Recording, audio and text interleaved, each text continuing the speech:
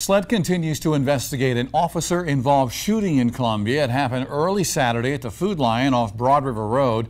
Police say 29 year old Brandon Leggett was stopped for a traffic issue and the officer discovered he was wanted for burglary. Investigators say Leggett uh, refused to get out of his car. He drove away as the officer hung onto the vehicle. While the officer was being dragged, he got his gun and shot the suspect in the head. Authorities say Leggett is still in the hospital. No word tonight on his condition.